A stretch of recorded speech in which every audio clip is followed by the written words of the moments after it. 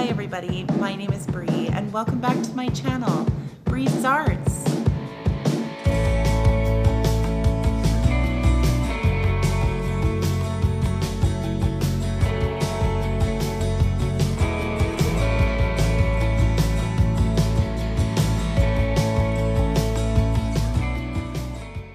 So today is very exciting because I am collaborating with Dave from Dave's Wreaths and Things. I love Dave. He is so crazy talented. He makes the most amazing wreaths and other DIYs as well. And he is such a nice guy. Incredible.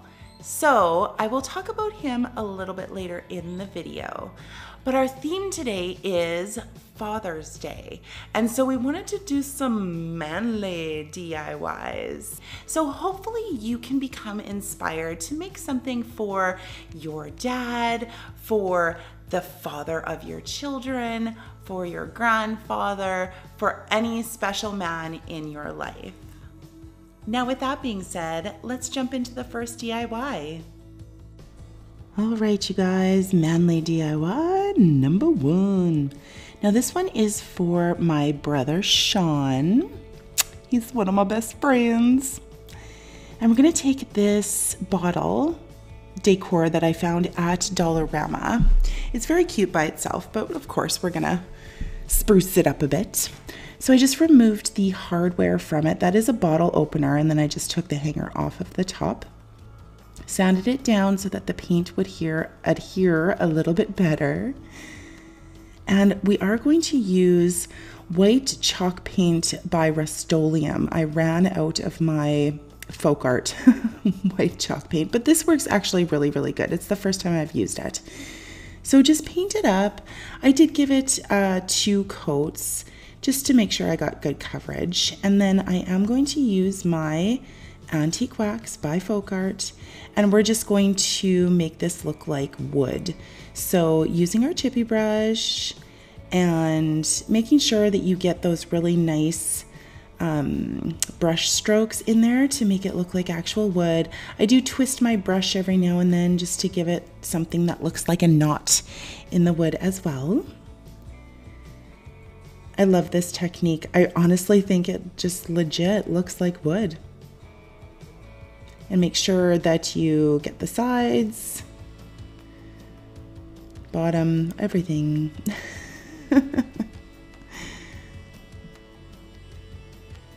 Come on, girl, paint that thing up. All right, and so now we are going to take some Mod Podge and seal this baby up. This is the hard coat Mod Podge. So um, I did two coats of the Mod Podge just to make sure it was nice and sealed.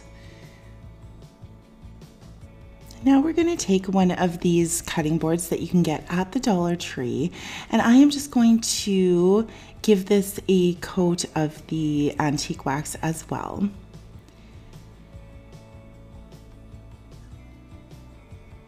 Just paint it up.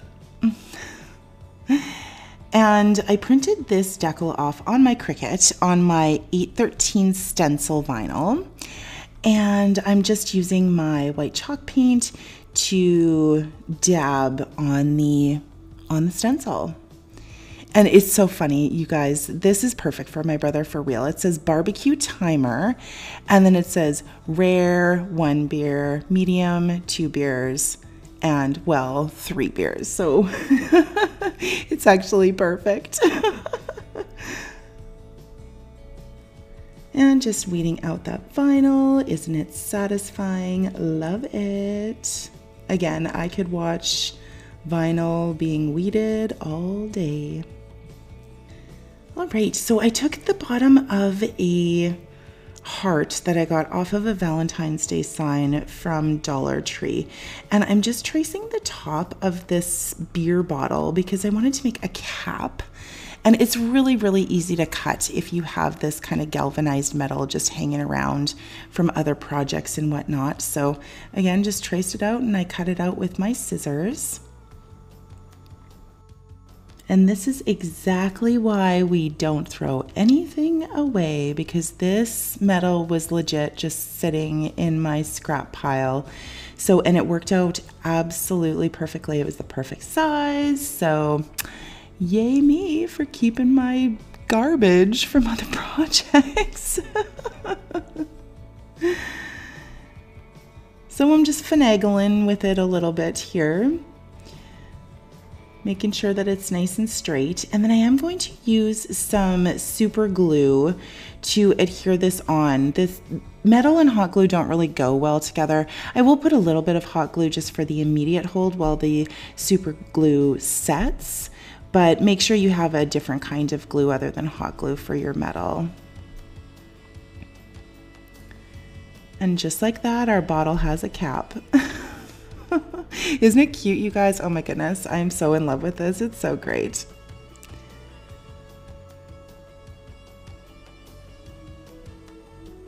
There we go. Now just taking some twine and just finishing off the, the bottle cap there. I just wrapped it around a few times um, and hot glued it in the back there.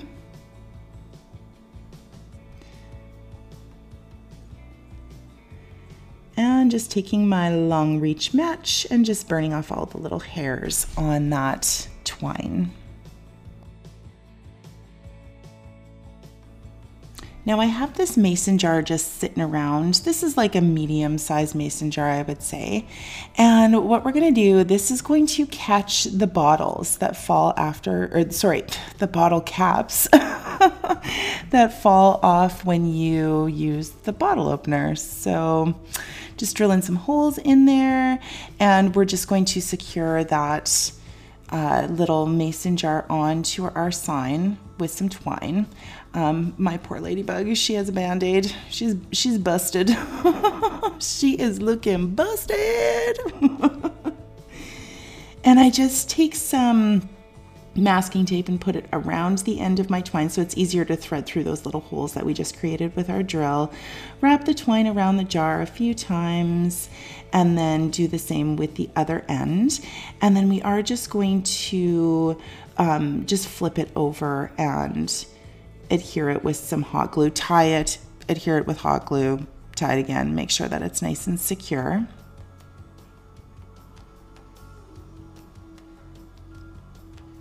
So there we go, our little jar is nice and secure. Perfect.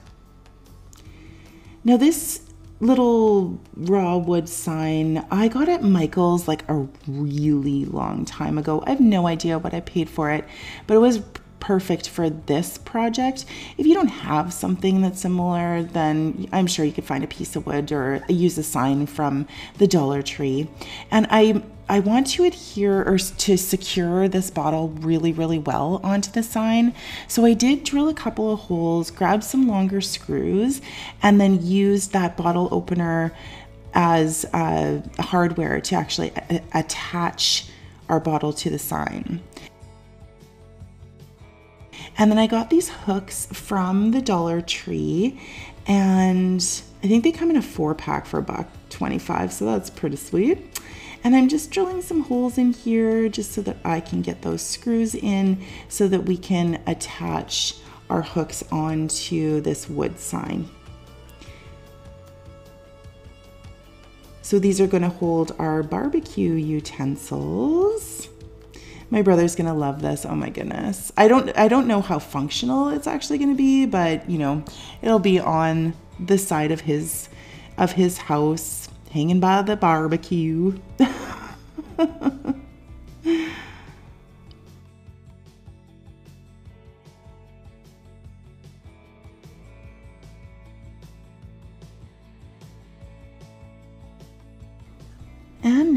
we're just going to take the little sign that we made out of the cutting board and adhere it to the larger sign with some E6000 and some hot glue. E6000 is for permanent hold, hot glue is for the immediate hold. Just smoosh it down there, and there we go. And I just decided to finish this off with some nylon rope from the Dollar Tree. It's in the automotive section. So, and so are those hooks. So we're using some manly stuff for these manly DIYs. and I'm just gluing that all the way around just to finish it off. And that is it, you guys. Oh my goodness. I absolutely love this. And my bro is totally going to love this too. So great.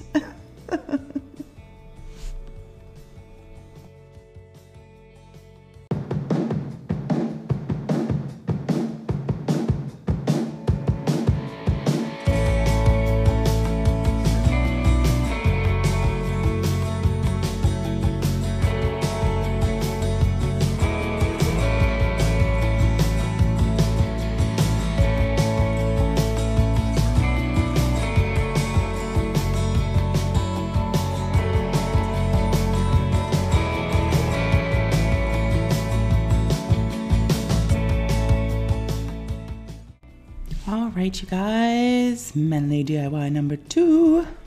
And this one is for my dad, and we call him Pops, just so you know. I'm sure he'd let you guys call him Pops too.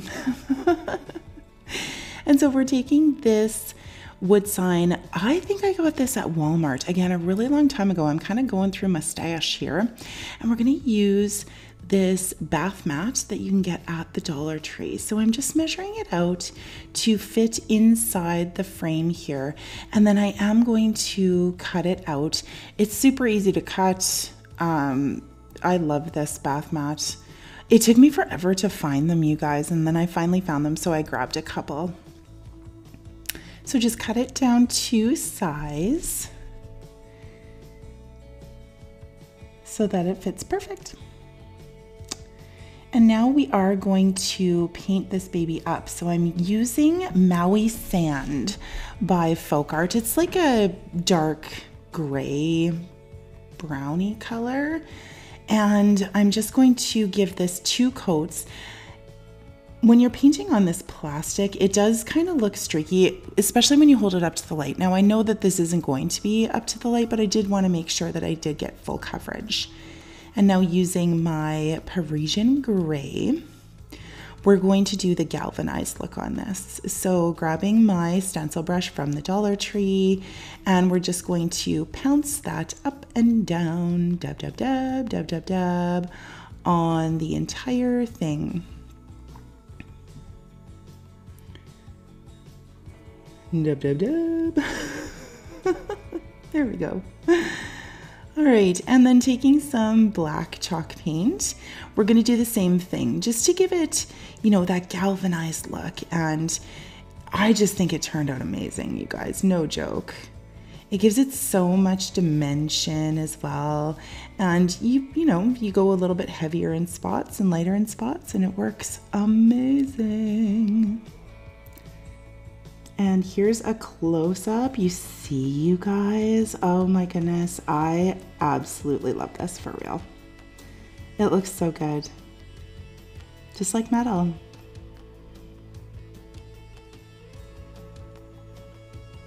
Check it out. And just to finish it off here too, we are going to use, I believe this is sheepskin by Folk Art. And you know, just in little spots, just give it a little dash of lightness. Maybe where you put a little bit too much of the black paint and it just finishes the look for this galvanized metal. Can you believe that's a bath mat? Oh, it blows my mind.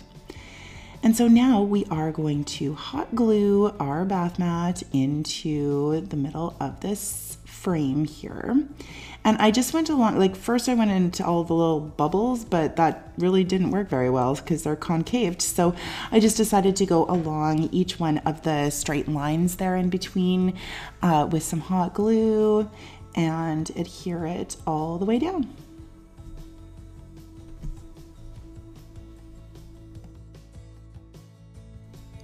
Just like that. And it fits so perfectly. And taking one of these little welcome signs from the Dollar Tree, I just popped the welcome or the back out of it. And then the welcome came off like no problem.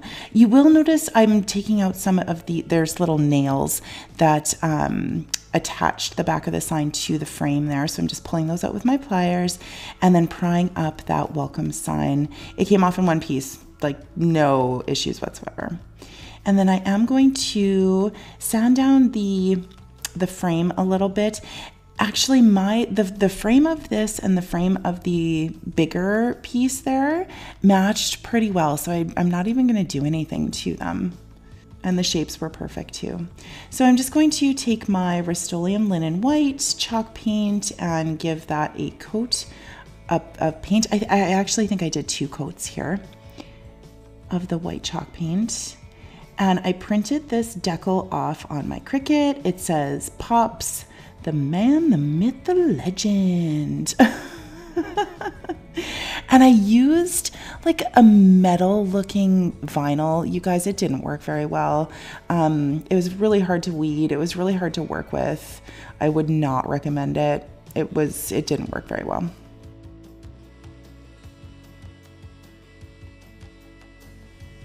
And then we're going to hot glue that back into the frame and make sure you get all your little hot glue smooches out of there. There's always one, isn't there? Always one. And then we're gonna hot glue that onto the other frame and we are done, you guys. Oh my goodness. Pops is going to love this. I think it turned out so great. Love it.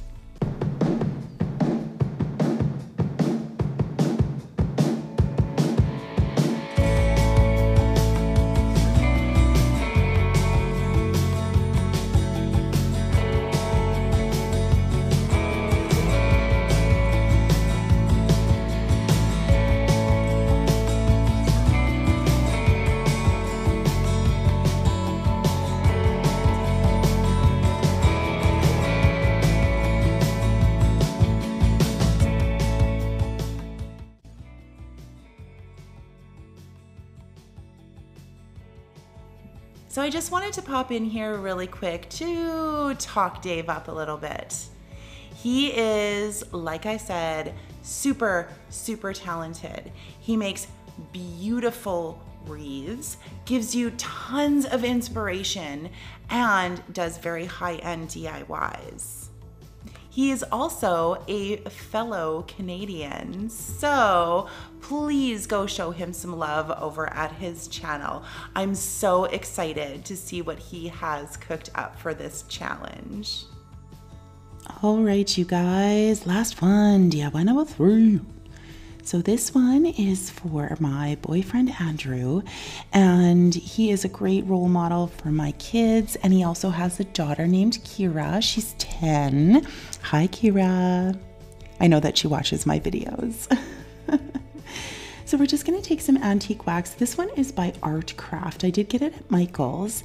And we're just going to paint up these two by fours that I just found in my garage all of the sides, front, back, sides, you know, the whole shebang.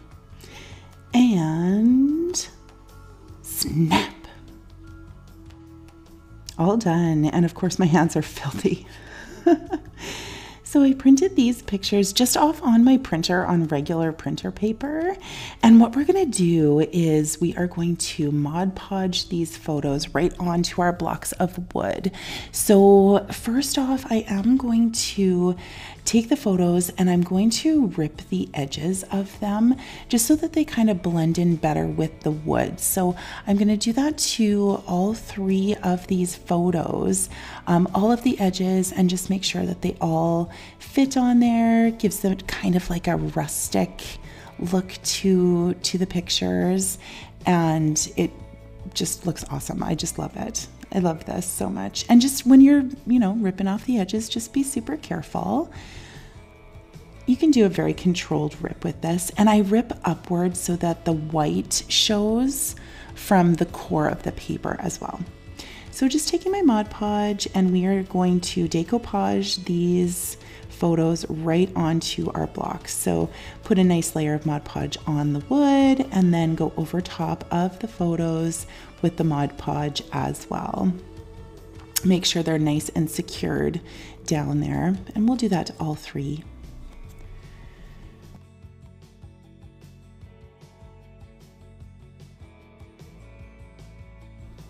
And now taking this beautiful scrapbooking paper that I found at Dollarama. It is so gorgeous. I've used this before in some of my DIYs.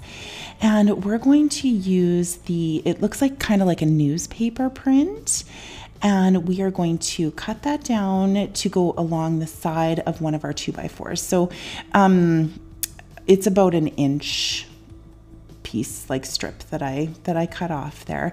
And we're going to do the same thing, just grab some Mod Podge and smooge it on there and then put our piece of scrapbooking paper on there as well.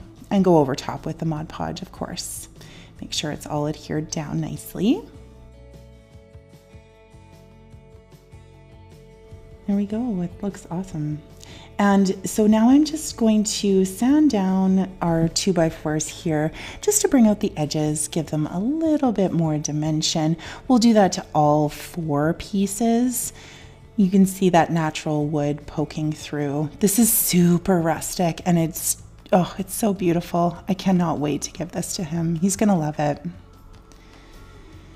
And the same thing with the scrapbooking paper that I put along the side there. I'm just going to use my sanding block and just rough up the edges a little bit. I didn't want them to be completely straight because it just wouldn't match with the project. So just going along, you know, moving the table all over the place, making you guys dizzy, I'm sure. Camera's moving all over. but there we go. That looks better. And now I am going to just take my chippy brush and go along the scrapbooking paper just to kind of blend it in with the wood piece and, you know, rough it up, make it look rustic.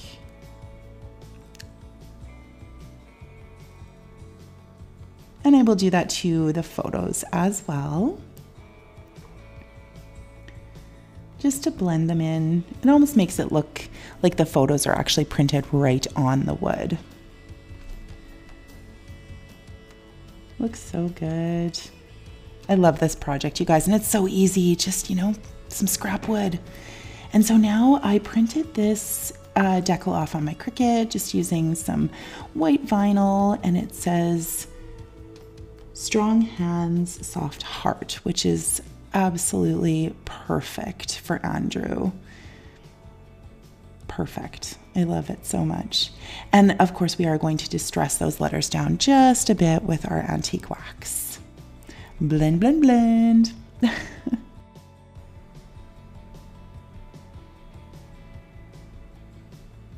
there we go. And so I am going to take some wood glue and that is how we're going to adhere these. Now you could take screws definitely and put them through on the bottom. I didn't have any that were long enough. So, um, and then of course some hot glue as well. Hot glue for the immediate hold, wood glue will keep this all together. And just do that to all three of the pieces.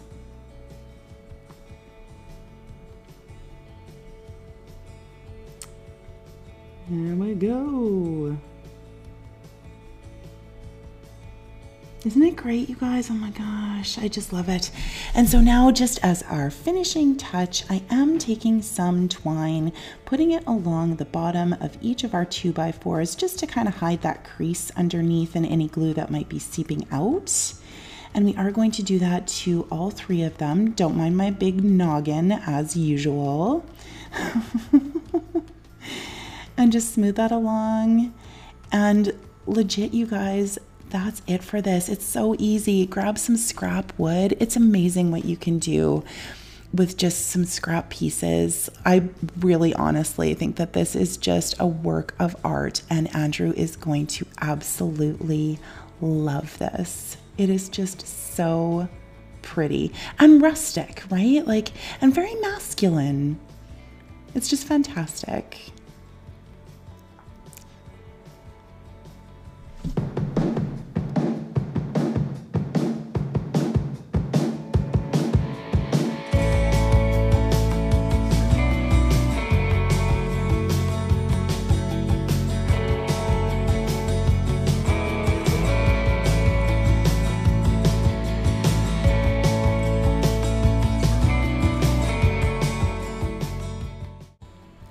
Right, you guys, that is it for our manly DIYs. I hope that you can find some inspiration and, you know, maybe make something for that special guy in your life. I want to send a huge thank you out to Dave for doing this collab with me today. Seriously, you guys, go and check out his channel. You will not be sorry. He is amazing. And if you like what you see, do me a solid. Tap that like button, maybe subscribe, tell your friends, you know, all of that jazz. Stay tuned for the gag reel. Bye, guys.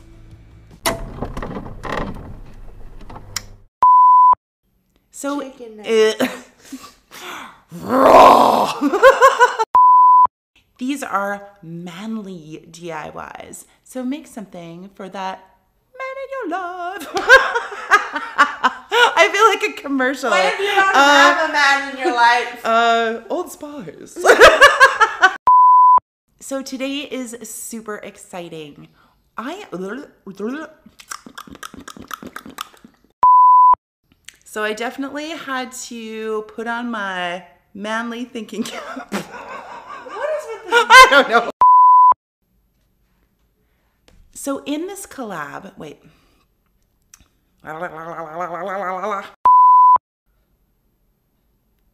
Yes. So I put on my manly pants. oh? Got some manly pants on. oh. So how do we get to the other? Ooh. Ooh.